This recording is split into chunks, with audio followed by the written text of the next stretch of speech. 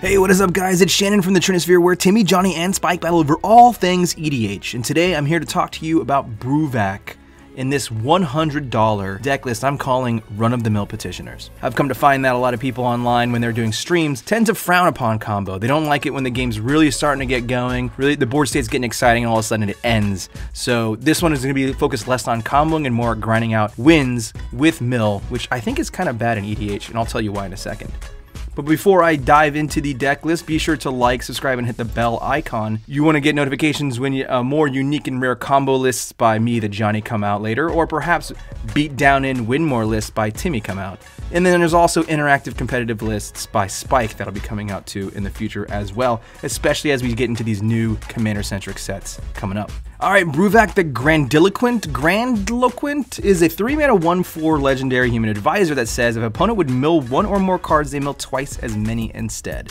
And of course, mill is a replacement to put top card of library into graveyard. This is, I think, a acknowledgement from WotC that mill is actually an underrated archetype in EDH, or an underpowered archetype in EDH. You would imagine that any archetype, as it's built for Magic the Gathering, uh, has to be built with all formats in mind. And one that, of course, is always on the forefront of Mindset is limited. So if you if the card is balanced for a limited format in which you have one opponent with a 40 card deck, how can it possibly scale well into a format where you have three or four opponents that have 100 card decks? So I think Mill has always been, outside of going infinite in a combo, a pretty weak archetype in EDH, but I think finally WotC's acknowledged that by printing us Bruvac as a response. Let's take all of those cards that are generally speaking not good in our format and double their power with our legendary creature to which we have access all the time.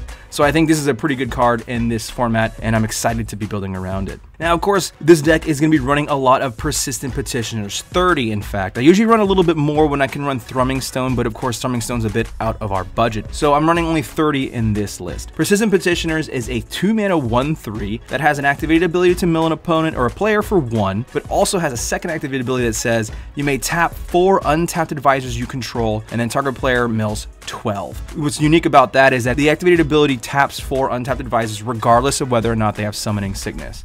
The last important thing about Persistent Petitioners is a deck can have any number of cards named Persistent Petitioner. So this is one of the few cards that can violate the Highlander rule, the there can be only one rule of EDH and the other ones were being those black rats, the rat colony and the uh, relentless rats. So of course, when we get quadruples of persistent petitioners, groups of four, each one of those groups can mill an opponent for 12 cards, per, or around one eighth of their library. Now with Bruvac in play, we double that power. Now uh, any group of four petitioners can mill an opponent for one fourth of their library. So this can quickly eliminate a players if we have multiple groups of persistent, persistent petitioners, or we can grind them out over the span of a few turns. Now, one card that we will be running that's very often run with Persistent Petitioners is Sphinx of the Chimes. This 6 mana 5 6 flyer says discard two non land cards with the same name to draw four cards. Of course, our deck has a ton of Persistent Petitioners in them, so a lot of this deck is built around trying to improve the value of a Persistent Petitioner, uh, whether it be in our hand or in play. Now, Sphinx of the Chimes helps us improve the flood of Persistent Petitioners. If we draw too many of them, we can cash them in for removal spells or other effects. Some ways that we're gonna we're gonna supercharge charge persistent petitioners by increasing their mill output is by untapping them. We're gonna use Dramatic Reversal, Faces of the Past, and Mask of the Mimic. Dramatic Reversal needs no introduction. I, it's usually run with Isochron Scepter, which you can do. I'm not going to, so I'm just gonna be running uh, Dramatic Reversal as a way, as a one-shot untap my petitioners. So if we can mill them for 24 when Bruvac's in play, we can then cast Dramatic Reversal to mill them for another 24. So boom, we gotta we gotta traumatize them out of nowhere. We're also gonna run Faces of the Past. Now, this is my budget Johnny replacement for my one of my favorite cars in Petitioners, which is Intruder Alarm. Intruder Alarm is insane in Persistent Petitioners. And I would recommend that if you can afford the $12 card that is Intruder Alarm, I would put it in here over Faces of the Past and maybe change a few other things. But right now I'm talking about my $100 list, and this is my replacement for Intruder Alarm. This card says whenever a creature is put into a graveyard from play, you may tap or untap all creatures that share a card type with it. So whenever a human or an advisor dies, you can untap all humans and or advisors. In this regard, it makes attacking us very difficult when we have petitioners in play, because if we block with one petitioner, we then untap all of our other petitioners. So this makes it really hard to attack us which a lot of this deck is a little uh, political manipulation kind of thing. Mask of the Mimic also helps us feed into Faces of the Past. Now, we don't really get to control as well as Intruder Alarm how often Faces of the Past triggers. It's on our opponents to kind of stumble into it on accident. So we have a few cards in here that allow us to sacrifice our creatures for added benefit. Mask of the Mimic allows us to sacrifice any creature to search our library for a copy of target creature and put it into play. So sacrificing a creature to go get a Persistent Petitioner putting into play. So that has added benefit of blinking a removal, or we can cash in a Solemn Simulacrum for another Persistent Petitioner, kind of like a, a polymorph effect. So another way to support Sphinx of the Chimes grinding people out with our card draw is blue's milling bread and butter, in my opinion, and that is enchantments that mill when we draw cards. There's three of them that I that I'm going to mention here: Psychic Corrosion, Sphinx's Tutelage, and Teferi's Tutelage. Psychic Corrosion, I think, is one of the recent additions to EDH that shows that Wizards of the Coast acknowledges that mill is a little weak, and that is it's the first one that affects all of our opponents simultaneously. Almost all of the other ones will affect only target opponent or one player, but Psychic Corrosion says whenever we draw a card, each opponent mills two, which is great. So this is a standard by which to judge all of the other ones by. So let's judge Teferi's Tutelage based on that. Now Teferi's Tutelage, same mana cost, only mills one opponent for two cards, probably a little bit worse than Psychic Corrosion. However, Teferi's Tutelage does trigger a draw and discard when it enters the battlefield. You can kind of classify Psychic Corrosion as a do nothing enchantment, and by that I mean you can tap three mana, cast Psychic Corrosion, and then pass the turn, and then your opponent on their turn casts Reclamation Sage for three mana, blows up Psychic Corrosion. Now in that case, Psychic Corrosion did not do anything in that game. It did not affect the board at all. Whereas opposed to Teferi's Tutelage instead would have at least milled somebody for two to four cards, depending on Bruvac's existence. And of course, this card is very useful in the early game to filter bad hands. You're able to, to if you get flooded with lands or petitioners, you can cash those out using the loot effect on Teferi's Tutelage. Now, Sphinx's Tutelage is probably the most powerful one of this. Once again, it only targets one opponent, so it's weaker than Psychic Corrosion in that regard. However, it has that grindstone clause added on that says if two of those cards are the same color, repeat this process.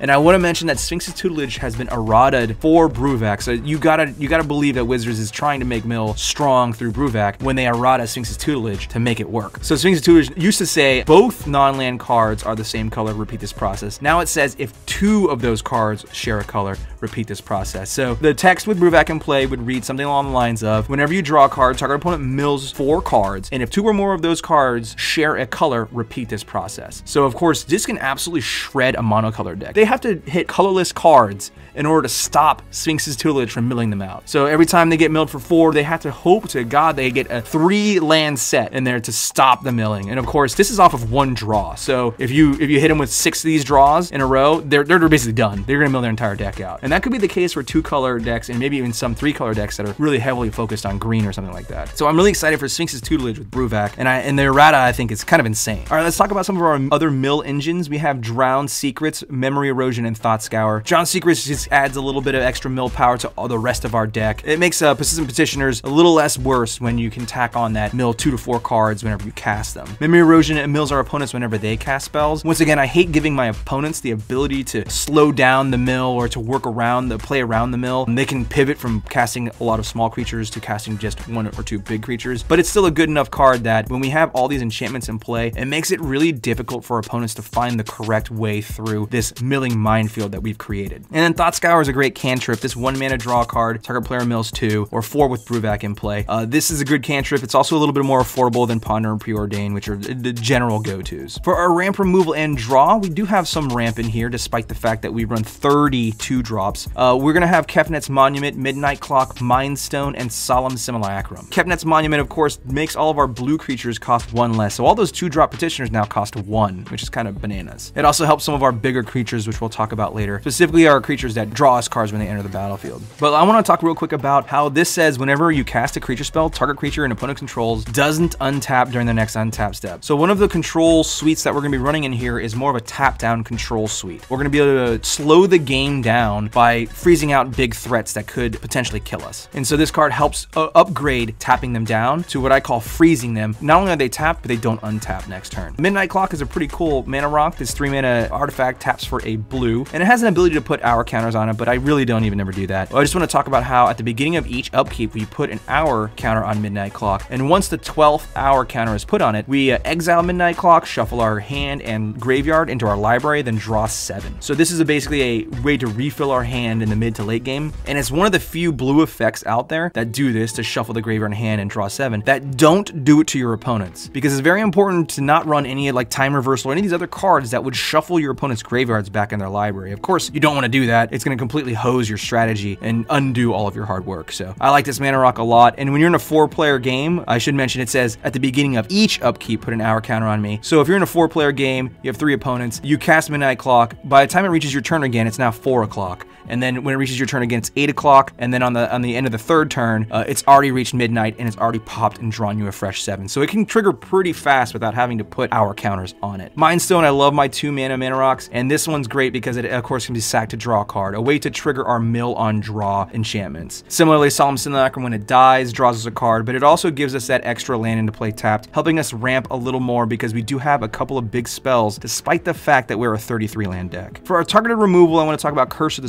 Swine, Opposition, and Reality Shift. And I want to talk about Reality Shift and Curse of the Swine because when I run removal spells like this that replace a creature with another one, I want to make sure my deck is well positioned against that creature. For example, I hate running Swan Song in my Planeswalker decks because I hate giving my opponents a 2-2 flyer for free. I don't want to get my Planeswalkers hit by this flyer, so I generally don't run Swan Song. Similarly, this deck would be bad against Generous Gift and Beast Within. Giving them a 3-3 is tough when all you have is a 1-3 blocker on average. So I love Curse of the Swine and Reality Shift because I love giving them 2-2s. Very easy to block with my 1-3s and my 1-4 Bruvac. Now, opposition is feeding into that whole tap-down control thing I was telling you about. This 4 mana enchantment says tap an untapped creature you control to tap target artifact, creature, or land. This is kind of bananas when you have tons and tons of extra petitioners laying around. You can then use them to tap down creatures bigger than themselves. You're threatened by a Blightsteel Colossus, just tap it down. You can use it to tap down lands. If they're playing a fancy pants expensive deck that has a Cabal Coffers, you can just tap that on their upkeep so they can't use that mana on their main phases. And of course, you can use it to tap down other artifacts they're trying to combo off. So I think Opposition is a really strong Um, card in this list, and it gets better with Kefnet's Monument, which freezes them for an extra turn, and then other cards that I'll talk about in a minute. But to feed more into that, we're going to run also Tidal Force and Tidespout Tyrant. Tidal Force is an 8 mana creature that says at the beginning of each upkeep, you may tap or untap target permanent. So once again, feeding into that, tapping down the biggest problematic card on their board on their upkeeps. But also it can untap cards. So if we have extra petitioners laying around, but they don't quite mate in a second quadruple, we can then untap one of those milling petitioners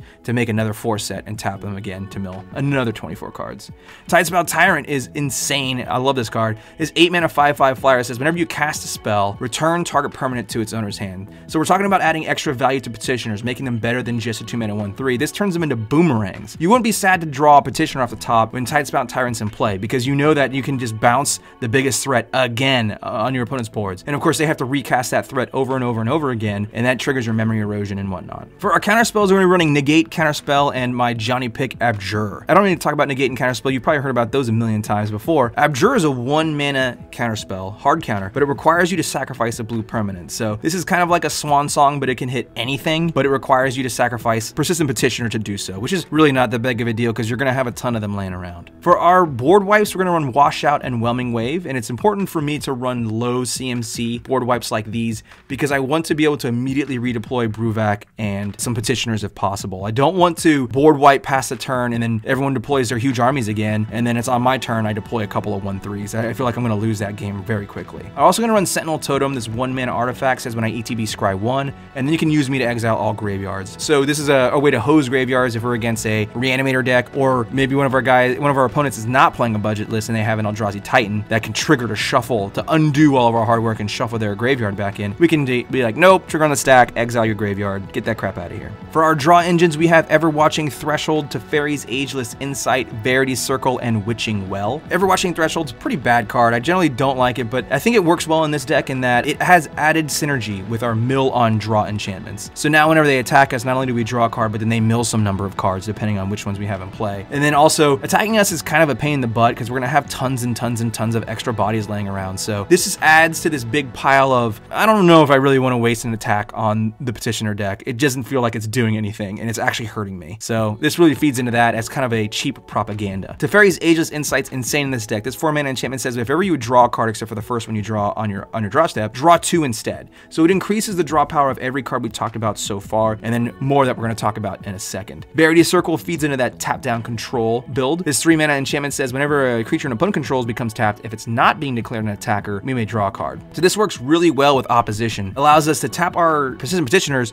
to tap down threatening creatures and draw a card doing so. It also triggers off of things like uh, mana dorks, perks or activated abilities that require their creatures to tap as well. So Verity Circle can result us in drawing a lot of cards, especially when opposition comes into play. It becomes insane, like they must deal with it immediately. Witching Well kind of feeds into the Teferi's Ageless Insight plan. This is a one mana artifact that says, when I enter the battlefield, scry two, and then later in the game, you can cash me in, paying four mana to draw two cards. So generally speaking, that rate is pretty bad. What I like to do is I like to leave this around until Teferi's Ageless Insight is in play, and then I cash that in for four cards instead of two. Similarly, we're gonna run for our burst draw, Chemister's Insight, Gadwick the Wizened, and Mass Appeal. And like I said about Witching Well, I love to leave Chemister's Insight in the graveyard after using it early game and wait until Teferi's Ageless Insight is in play. So now it becomes four mana draw for it instant speed, which I like a lot. Gadwick the Wizened is that one creature I was telling about with Kefnet's Monument. Helps us draw extra cards when it's discounted. Gadwick has a second ability, in addition to being a living mind spring, drawing us X cards when we when we cast it. It also says whenever you cast a blue spell, tap target non-land permanent opponent controls. So once again, it's another tap down uh, control effect, triggering Verity Circle,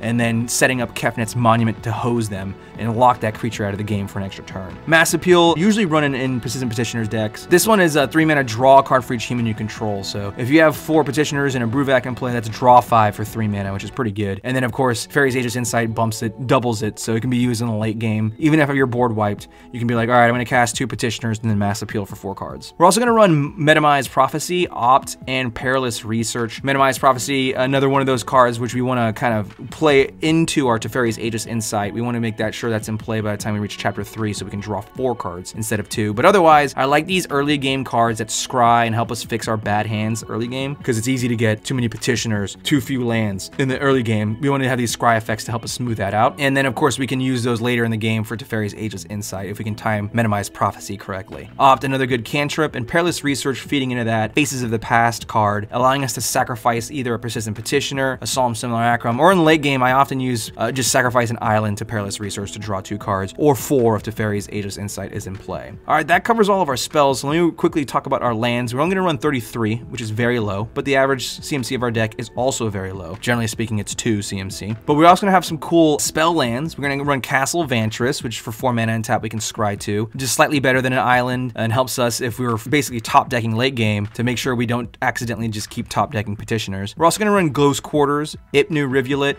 and Scavenger Grounds, so these uh, help us uh, deal with problematic lands, hose people's graveyards, or also Ipnu Rivulet can, can sack a desert to mill somebody for 4 or 8 when Bruvac's in play. We're also to run Remote Isle and Lonely Sandbar, two cards uh, cycling blue lands so that we can trigger mill on draw enchantments via lands. All right, that wraps up this $100 Bruvac list. Let me know what you think, and let me know if there's other commanders you'd like to see me work on, whether it be as a Johnny trying to go infinite with some bad cards and cheap takes, or, you know, if you want to see some Timier or spikier builds, let me know as well. All right, guys, that's a wrap for this week. Be sure to like, subscribe, and hit the bell icon if you want to see more deck techs by the Trinisphere.